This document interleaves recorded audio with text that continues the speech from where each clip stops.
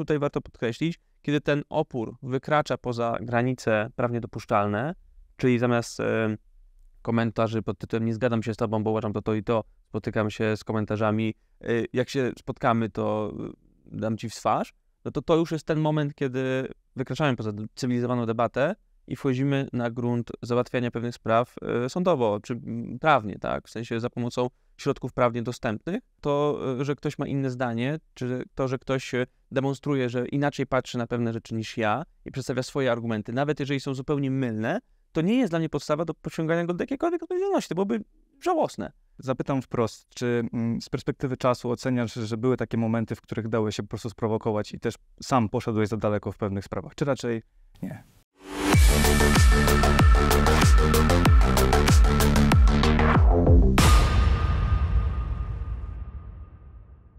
Dzień dobry Państwu, to jest program Pułapki Sieci. E, dziś naszym e, tematem przewodnim będzie kwestia hejtu, trollingu, ale także poczucia anonimowości i bezkarności w sieci. A moimi i Państwa gośćmi jest pani Zofia Getz, e, Kancelaria Adwokacka KNS. Dzień dobry. Dzień dobry. Oraz Jakub Wiech, redaktor naczelny portalu Energetyka24. Dzień dobry. Dzień dobry.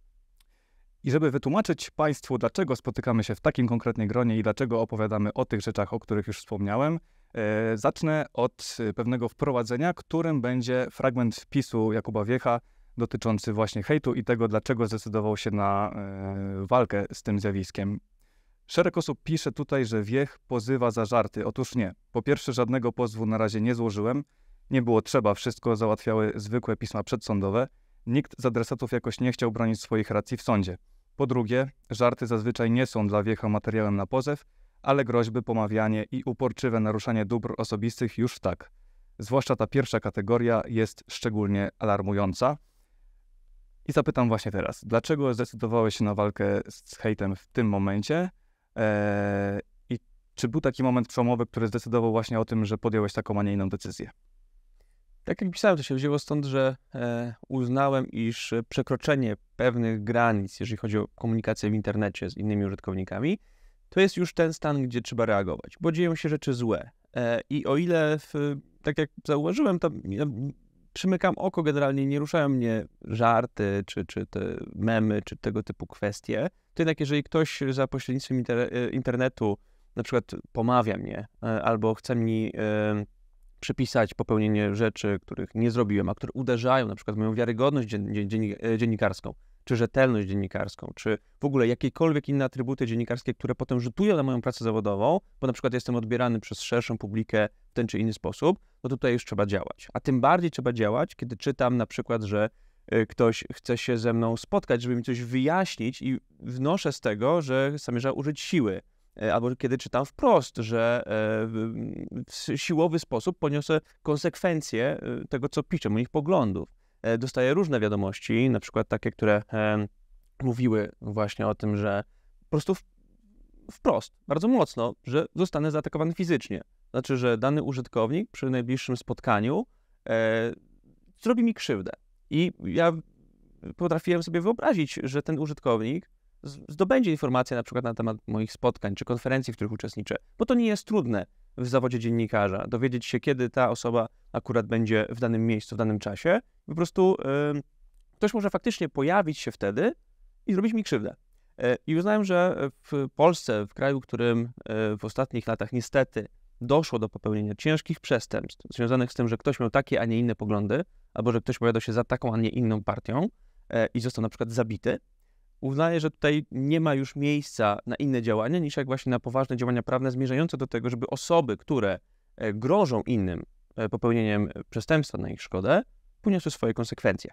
Więc dlatego zwróciłem się o pomoc prawną e, do pani mecenas po to, żeby pociągnąć tych ludzi do odpowiedzialności. Nie wiem, jak potoczą się te sprawy, tutaj dużo rzeczy zależy od prokuratury, od sądów i tak dalej, natomiast uznałem, że jeżeli nie zrobię tego kroku w stronę formalizacji pewnych konsekwencji, to de facto w milczący sposób dam przyzwolenie na takie akty agresji w przestrzeni publicznej. A tego bardzo nie chcę robić, bo to wszystko było rzeczy pisane pro foro publico, to znaczy y, w, na takich platformach jak na przykład Twitter. Mhm. To też warto tutaj dodać, że takich osób, które zdecydowały się na podobne kroki w ostatnim czasie jest więcej.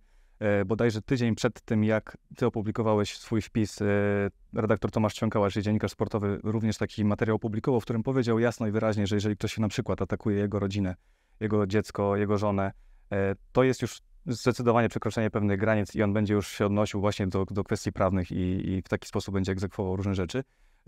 Takim chyba prekursorem był, z tego co pamiętam, kulturysta Michał Karmowski, który bodajże 6 lat temu po raz pierwszy pokazał, że z hejtem w jakiś sposób można walczyć. I teraz dopytam już konkretnie panią, to znaczy mm, o zjawisko hejtu i o definicję tego, zjawi- tego słowa, ponieważ mm, wydaje mi się, że to może być słowo, które będzie często nadużywane mm, w przestrzeni publicznej, które może czasami służyć do etykietowania danego człowieka lub nawet wyłączania go z dyskusji. Więc dlatego chciałbym zapytać, czy w polskie prawo w jakiś sposób definiuje słowo hejt? Polskie, polskie prawo nie definiuje słowa hejt, y, natomiast te wszelkie objawy hejtu czy trollingu, które pojawiają się w social mediach, każdy z nich może być zakwalifikowany z jakiegoś y, przepisu prawnego, czy to na gruncie prawa cywilnego, czy karnego. Taki wpis czy komentarz może być zakwalifikowany zarówno jako naruszenie dóbr osobistych, jak i jako przestępstwo na przykład groźby karalnej, czy stalkingu, jeżeli to jest uporczywe nękanie takimi komentarzami czy postami, czy jako zniesławienie, znieważenie, nawoływanie do nienawiści rasowej, nawoływanie do dokonywania przestępstw. Mhm. To tutaj padło kilka haseł, y, o które muszę dopytać, żeby po prostu zdefiniować i jakby jasno określić, czym one są. Y, ale na początku zapytam o jeszcze takie mm, sformułowania, które, których teraz pani nie powiedziała, ale one pojawiły się już jakby w tym wpisie, o którym rozmawialiśmy. To znaczy, chodzi mi o wezwanie przedsądowe i o pozew. Jaka jest różnica tutaj? I też, czy to wezwanie jest często wystarczającym środkiem, wystarczającym środkiem ostrzegawczym dla, dla osób, które właśnie dokonują takiego chociażby nękania? Mm, wezwanie przedsądowe to jest takie pismo jeszcze nie procesowe, czyli nie, takie, które nie, nie jest wysyłane do sądu ani do żadnego organu państwowego. Wezwanie to jest takie ostatnie ostrzeżenie wysłane mm, do tutaj w tej sytuacji osoby szkalującej kogoś z taką propozycją, z wyjściem, y, z inicjatywą ugodowego załatwienia sprawy. I ta, tego rodzaju pismo, tutaj porównując do pozwu, jest wymogiem formalnym samego pozwu. To znaczy w pozwie już trzeba zawrzeć informację, czy podjęto próbę ugodowego załatwienia sprawy, dlatego że generalnie y, system y, prawny w Polsce jest nastawiony na to, żeby tam, gdzie można, y, rozstrzygać spory na drodze ugodowej. Dlatego też na przykład w postępowaniu karnym w sprawach prywatno-skargowych o zniesławienie i znieważenie jest ustanowione posiedzenie pojednawcze. Tak samo w postępowaniu cywilnym istnieje takie nakierowanie na to, żeby próbować jeszcze się dogadać, mówiąc kolokwialnie. Y, jeżeli, jeżeli chodzi o to, czym jest pozew, to już jest pismo skierowane do sądu, wszczynające postępowanie przed sądem cywilnym, y, które mm, takie pismo musi spełnić szereg wymogów formalnych, musi być opłacone, chyba że ktoś dostanie zwolnienie od kosztów musi wskazywać wszystko to, czego żądamy, dowody na to, twierdzenia, wnioski. Mhm. Jak już wspomniał redaktor Wiech, y, tam niewątpliwie pojawiały się też groźby karalne w stosunku do, do właśnie redaktora i chciałem zapytać o to, czy mm, jak my możemy właściwie definiować właśnie groźbę karalną y, i czy polskie prawo ma środki, czy są, istnieją środki prawne do, wykorzystywane do tego, aby właśnie jakoś ze zjawiskiem tym szeroko pojętego hejtu, żeby sobie jakoś radzić? Groźba karalna to jest przestępstwo określone w artykule 190 kodeksu karnego, zgodnie z którym groźba karalna to jest czyn, który wypełnia znamiona, które polegają na tym, że ktoś grozi innej osobie popełnieniem przestępstwa na szkodę jej albo osoby najbliższej, ta osoba, której się grozi, jest y, y, w tej osobie, której się grozi, ta groźba y, wywołuje uzasadnioną obawę, że zostanie spełniona i koniec. Czyli nie ma tutaj takiego elementu, żeby osoba, która grozi, miała zamiar spełnienia groźby. To jest bardzo istotne. Jeżeli chodzi o tę uzasadnioną obawę spełnienia groźby, to tutaj trzeba pamiętać o ważnym aspekcie tego znamienia, czyli o tym, że z jednej strony ta obawa musi być uzasadniona subiektywnie w odbiorze osoby, której się grozi, w jej psychice, ale oprócz tego ta obawa musi być uzasadniona, mówiąc obiektywnie, co też czasem niestety jest takim argumentem przeciwko tym groźbom kierowanym za pośrednictwem social mediów. Bo pojawia się takie stanowisko, że mm, jeżeli ktoś gdzieś w przestrzeni internetu kieruje pod czyimś adresem jakieś groźby, nie wiadomo kim jest, gdzie mieszka, te osoby się nie znają, to dlaczego w ogóle y, ktoś miałby się bać, że y, że faktycznie coś mi się stanie. Natomiast y, ja uważam, że praktyka w tym zakresie bywa różna. Y, zdarzają się groźby kierowane za pośrednictwem social mediów, które są, y, które są jednak ścigane.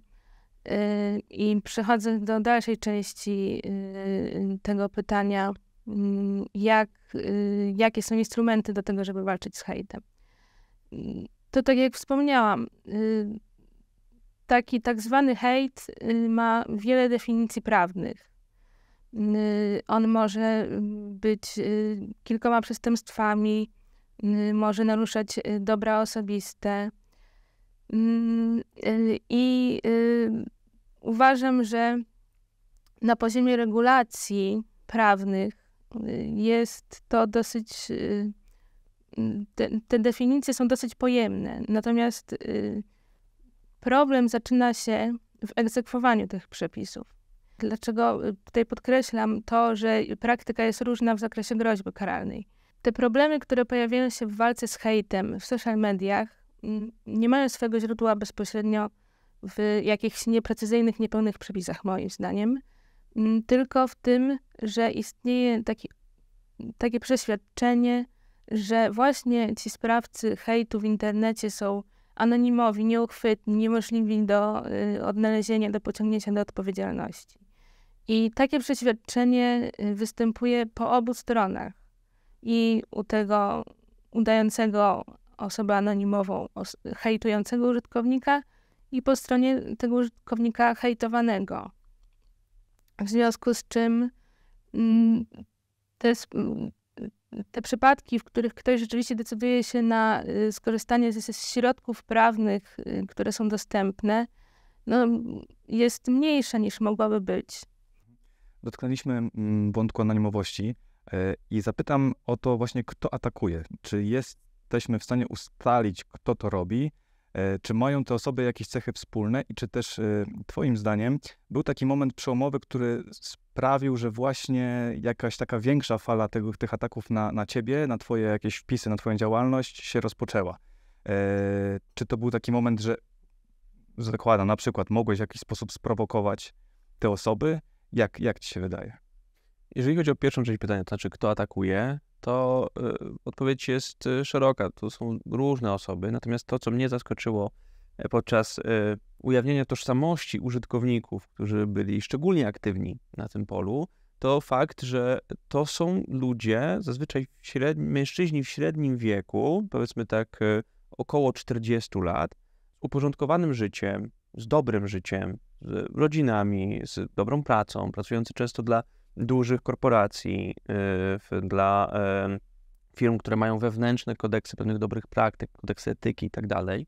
E, I y, to byli ludzie, którzy tak modelowo zupełnie nie pasują do potocznego obrazu hejtera, czyli osoby, która gdzieś się tam ukrywa w jakiejś piwnicy i pisze e, w, w kapturze przed komputerem e, obraźliwe komentarze, bo chce się wyładować. I to mnie zaczęło bardzo zastanawiać, to znaczy, co poszło nie tak w życiu tych osób, że uznają oni, one za dobrą zabawę nękanie innych użytkowników, czy e, wylewanie jakichś swoich e, e, takich powiedzmy wewnętrznych przeżyć na drugiego człowieka, korzystając z tej pozornej zasłony anonimowości, jaką, jaką daje sieć. I to było dla mnie mocno uderzające, bo nie spodziewałem się naprawdę, że po drugiej stronie tych obraźliwych komentarzy, czy często też komentarzy typu, że aktywiści powinni trafić, klimatyczni powinni trafić do dołów z wapnem, bo takie też się zdarzały kwestie, że po drugiej stronie tego wszystkiego stoją ludzie, którzy mogą tak obiektywnie stwarzać wrażenie porządnych obywateli, dobrych, porządnych obywateli. I tutaj odnoszę się teraz do drugiej części pytania, w kwestii tego, kiedy to się zaczęło. Ja to wiążę bardzo mocno z tym, gdy zacząłem się e, intensywnie zajmować tematem odbioru kwestii e, zmiany klimatu przez pewną część polskiej debaty publicznej, kiedy zacząłem adresować pewne e, kwestie w tej sprawie do polskiej prawicy, która, jak opisałem to na przykład w książce, ma pewną takie ma pewne zaległości co do odbioru stanowiska nauki w kwestii zmian klimatu, czy, cały czas e, hołduje pewnym mitom, które już dawno zostały obalone. I wtedy, kiedy zacząłem e, intensywniej promować e, to, co mówią realnie klimatolodzy, fizycy atmosfery, biolodzy, chemicy na temat zmieniającego się na Ziemi klimatu, to właśnie ta część strony, do której celowałem, no zaczęła kontratakować. Ale to jest dla mnie zrozumiałe, bo to są pewne proste mechanizmy psychiczne, dawno już też opisane, gdzie po prostu uderzając w czyjś światopogląd, spotkamy się zazwyczaj z mocną reakcją e, obronną. E, natomiast e, no, to jest część roboty dziennikarza. No, moim obowiązkiem jest opisywać rzeczywistość tak, jak ona wygląda, bez względu na to, czy to, to kogoś obrazi, czy nie. Muszę brać na, na celownik zawsze maksymalnie rzeczywiste przedstawienie danego fragmentu rzeczywistości. I wtedy duża część tego hejtu się właśnie skanalizowała, w, w, kiedy, kiedy zacząłem się zajmować tymi tematami i podejrzewam, że tak już będzie. To znaczy opór przed przyjęciem pewnych rzeczy, y, które mówią naukowcy, będzie cały czas występował. Natomiast tutaj warto podkreślić, kiedy ten opór wykracza poza granice prawnie dopuszczalne, czyli zamiast komentarzy pod tytułem nie zgadzam się z tobą, bo uważam to to i to, spotykam się z komentarzami, jak się spotkamy, to dam ci w twarz, no to to już jest ten moment, kiedy wykraczamy poza cywilizowaną debatę i wchodzimy na grunt załatwiania pewnych spraw sądowo, czy prawnie, tak, w sensie za pomocą środków prawnie dostępnych, po to, żeby osoby, które właśnie korzystają cały czas, podkreślę, z tej iluzji anonimowości, bo naprawdę w sieci nie jesteśmy anonimowi i teraz po, po kilku tygodniach zajmowania się tym, tą sprawą, mówię to jeszcze lepiej niż to wiedziałem do tej pory, e, żeby te osoby poniosły po prostu konsekwencje swoich czynów, bo sieć e, i rzeczywistość to są te płaszczyzny, które się przenikają w dużej mierze na gruncie prawnym. To znaczy, jeżeli grozimy komuś na ulicy, jeżeli grozimy komuś w sieci, to ta odpowiedź powinna być e, prawna taka sama. E, tutaj, tak jak mówiła e, pani, pani mecenas, może gdyby ta świadomość dotycząca tego, że internet nie wyłącza obowiązywania kodeksu karnego była większa, to więcej osób występowałoby właśnie na drogę prawną w celem odpowiedzi na hejt, który ich spotyka i w ten sposób obniżylibyśmy per saldo e, liczbę użytkowników, którzy, którym wydaje się, że mogą sobie pozwolić na więcej, bo korzystają z internetu, z anonimowych kont, czy z takich wynalazków jak VPN. Czyli reasumując akurat tę część wypowiedzi, rozumiem, że jeżeli ktoś będzie krytycznie odnosił się do tego, o czym piszesz, chociażby, nie wiem, w kwestii energetyki atomowej, powie, że się nie zgadza z tego i z tego tytułu, to rozumiem, że żadnego problemu nie ma, tak? To jest dopiero ten moment, w którym ktoś będzie jasno deklarował, że coś może tobie zrobić, z tego powodu, że po prostu jesteś kim jesteś, tak? Ale rzeczywiście, ja nigdy nie, nie, śledzi, nie, nie, nie ścigałem kogoś tylko dlatego, że miał inne poglądy niż ja. Wręcz przeciwnie, ja się zawsze staram, kiedy spotykam się z innymi zdaniami, kiedy spotykam się z wątpliwościami, z pytaniami dotyczących, e, dotyczącymi tematów, którymi się zajmuję, ja staram się wchodzić z użytkownikami w dyskusję, tłumaczyć im pewne rzeczy, przedstawiać im mój punkt widzenia i robić to spokojnie i z maksymalnym szacunkiem dla drugiej strony. E, podczas, no czasami te dyskusje widzę, że wymykają się spod kontroli, to znaczy czasami e, spotykam się już z, z narastającą pewną frustracją czy, czy gniewem, ale powtórzę, to, e, że ktoś ma inne zdanie, czy to, że ktoś demonstruje, że inaczej patrzy na pewne rzeczy niż ja i przedstawia swoje argumenty, nawet jeżeli są zupełnie mylne, to nie jest dla mnie podstawa do pociągania go do jakiejkolwiek odpowiedzialności. To byłoby żałosne. E, dla mnie podstawą do e, pewnego e, prowadzenia e, tych e, kroków na już na grunt prawny jest to, kiedy ktoś na przykład chce właśnie grozić mi, tak? Czy ktoś, ktoś, ktoś mi po prostu deklaruje, że zrobi mi jakąś krzywdę, albo jeżeli ktoś mnie pomawia, obraża mnie lub próbuje mi przykleić taką łatkę w ten sposób, który może uderzyć moją rzetelność dziennikarską, bo to jest też dla mnie bardzo ważne, żebym jako dziennikarz nie został zaszufladkowany jako, nie wiem, lobbysta, czy y, zakamuflowany pracownik tej czy innej firmy. Bo dla mnie to jest szalenie istotne, jeżeli chodzi o odbiór mojej osoby w środowisku zawodowym. E, I też muszę tego bronić. Więc nie będę pozwalał na to, żeby ktoś tak bezkarnie po prostu sobie to moje dobre imię w, w zawodzie poniewierał. E, ale to są te przypadki, kiedy ja faktycznie uważam, że trzeba zaangażować pewne instrumenty prawne. Natomiast to nigdy nie jest tak, że ktoś powie mi, że globalne ocieplenie nie istnieje, a ja dzwonię na prokuraturę. Mhm. To dobrze, że to jest wyjaśnione, bo to też się pojawiało w sieci, dlatego wolałem po prostu o to dopytać. I zamykając już ten wątek, yy, zapytam wprost, czy yy, z perspektywy czasu oceniasz, że były takie momenty, w których dały się po prostu sprowokować i też sam poszedłeś za daleko w pewnych sprawach, czy raczej nie? Powiem tak, długo wytrzymywałem, żeby się do tego przyznać, ale ja studiowałem prawo, więc mniej więcej e, znam materię normatywną, jeżeli chodzi o e, pewne e, mm, kwestie normujące debatę i nie posuwam się poza granice tych właśnie, tych właśnie działań. Oczywiście ja wiem, że to, co robię, to, co piszę, może być różnorako odbierane, ale jestem gotowy skonfrontować się z każdym na gruncie prawnym, kto mówi, że w jakiś sposób naruszyłem jego dobre imię, dobra osobiste, cokolwiek innego. E, jeżeli tak było, spotkam się z chęcią, żeby to przedyskutować, żeby to wyjaśnić i wreszcie czego, żebym poniósł moje własne konsekwencje prawne. Jestem na to w 100% gotowy. E, zastanawiam się, ile osób, które publikuje hejt w internecie, może sobie powiedzieć to samo. To teraz tak, anonimy to jedno, boty to drugie.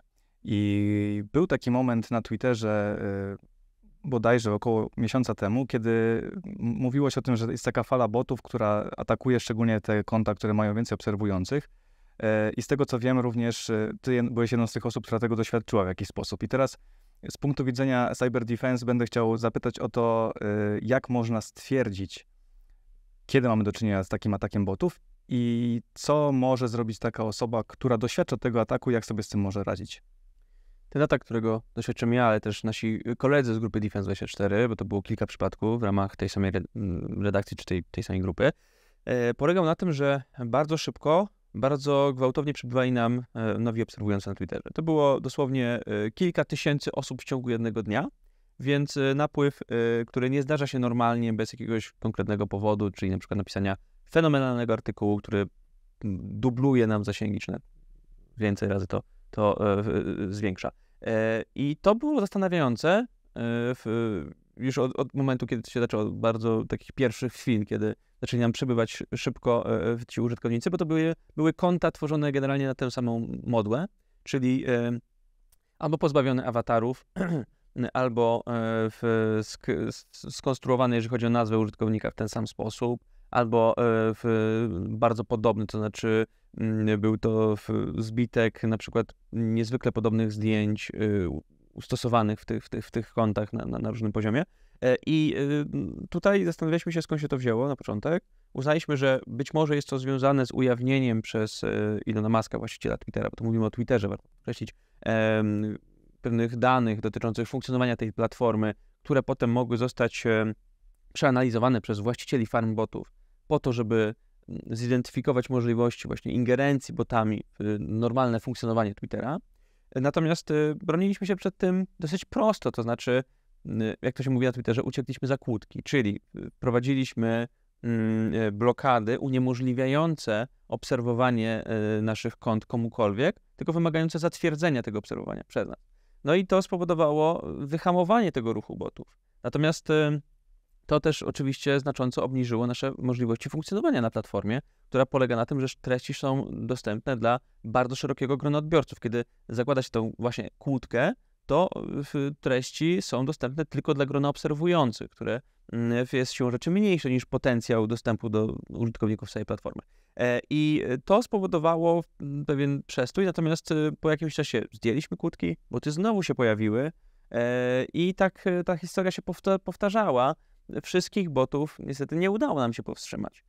I obserwowaliśmy spadki zasięgów, bo celem tego ataku, według mnie, ale też według naszych kolegów, było to, żeby wykreować sztuczne reakcje algorytmów na naszych kontach. To znaczy, żeby boty, które nagle przychodziły i, w tym samym, i później w tym samym momencie masowo odchodziły, żeby obniżyły nasze zasięgi. Żebyśmy my jako e, konta zajmujące się na przykład relacjonowaniem wojny na Ukrainie, czy pisaniem o bezpieczeństwie energetycznym, żebyśmy mieli ograniczoną możliwość dotarcia. E, bo może to był test przed jakąś operacją, która nas czeka w przyszłości. Może to było po prostu takie rozpoznanie bojem faktycznych możliwości reakcji Twittera na tego typu działania. Tego nie wiem. Natomiast e, faktycznie problem botów jest moim zdaniem rosnący, bo być może za chwilę będziemy się musieli zmierzyć z botami, którymi już nie będzie kierował człowiek operujący farmą, ale sztuczna inteligencja, która będzie je napędzać. I przez to one będą jeszcze trudniejsze do zidentyfikowania jako boty, bo już teraz mamy przecież problemy na przykład z rozpoznaniem, kiedy czytamy wypracowanie człowieka, kiedy czytamy wypracowanie napisane przez chat GPT. E, więc e, wdrożenie mechanizmów, na przykład właśnie sztucznej inteligencji do mm, e, działania farmbotów może być czymś, co, no nie powiem zabije, ale znacząco obniży yy, taki sens działania na platformach social media. Więcej czytam o sztucznej inteligencji i też o zagrożeniach, które wynikają z tego, jak ona się będzie rozwijała, tym jestem bardziej pewny, że ten problem z botami będzie coraz większy, tak samo zresztą jak z dezinformacją. Y, zostały y, powiedziane cechy szczególne mm, botów, ale dopytam o jedną, bo też jestem tego ciekaw. Czy to są zazwyczaj mm, konta, które mają zero, zero obserwujących, czy to różnie właśnie z tym bywa? To różnie bywa. W ogóle z tego, co orientuję się w tej tematyce, to są też różne farmy założone na przykład bardzo dawno temu e, i y, nieaktywne przez pewien czas swojej bytności na, na Twitterze, więc to różnie bywa. Są y, farmy, które widać, że dopiero co powstały i mają kilku obserwujących, jeżeli chodzi o te nowe konta, które powstają, ale są też bardziej rozbudowane i tu już mówimy o kilkuset obserwujących, zwłaszcza, że dobrze prowadzona farma może kumulować obserwujących na e, tych, tych kontach, ale też oczywiście tutaj mówimy o pewnym takim chowie wsobnym, czyli boty lajkują inne boty i obserwują inne boty i to w tym momencie się napiętrza. Mm, przynajmniej tyle wynika z moich obserwacji, mojej wiedzy dotyczącego, dotyczącej tego problemu, no bo to we mnie uderza jako czynnego użytkownika e, mediów społecznościowych, który za pośrednictwem tych platform no, pracuje, bo mm, tutaj w dużej mierze jestem na mediach społecznościowych, dlatego że pracuję jako, jako dziennikarz. E, zmierzamy już do końca naszej rozmowy i będę miał po jednym pytaniu dla Państwa na sam koniec. Czy Pani zdaniem mm, obecne regulacje prawne w Polsce są wystarczające w kontekście walki z hejtem, czy jednak jeszcze coś tutaj powinno ulec zmianie? Same regulacje y, są dosyć pojemne, y, to znaczy każdy rodzaj hejtu znajduje jakąś swoją definicję w prawie. Y, można ten hejt ścigać zarówno na poziomie w formie zawiadomienia o przestępstwie, jak i pozwu.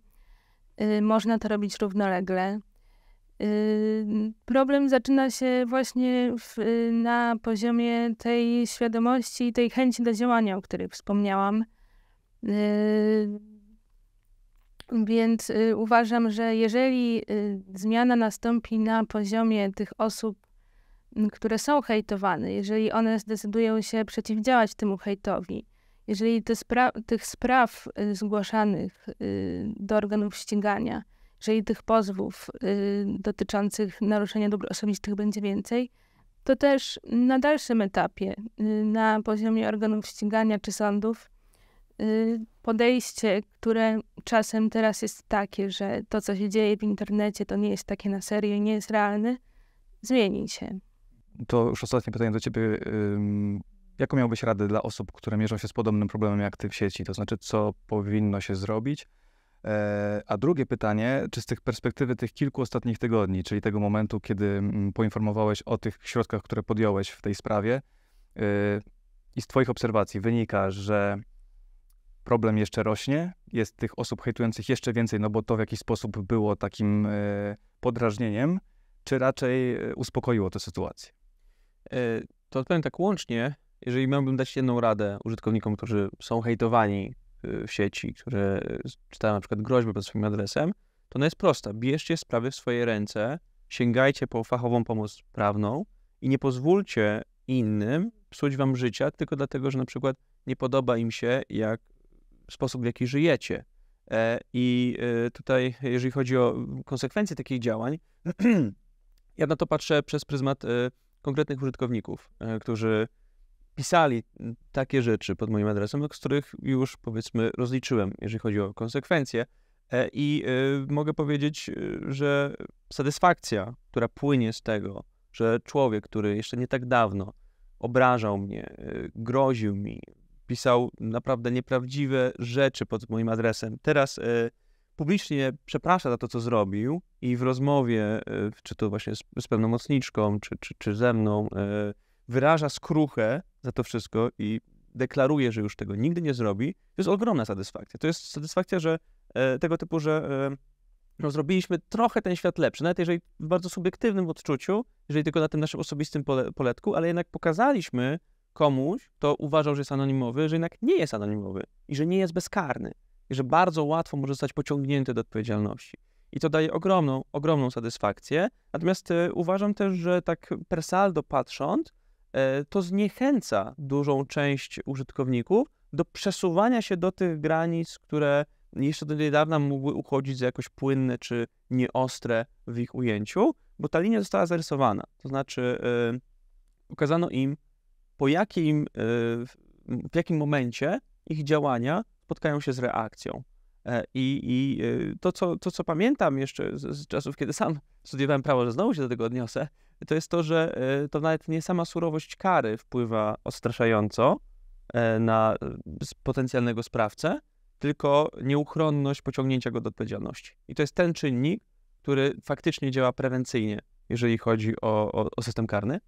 E, I e, to jest coś, co, co myślę, że warto, warto zastosować jako taką też, też e, generalną konkluzję, może dla wszystkich użytkowników sieci, że nie, ba, nie bójmy się walczyć z hejtem za pomocą środków prawnie dostępnych, bo to faktycznie może przynieść takie generalne ostudzenie bardzo często negatywnych emocji na tych platformach.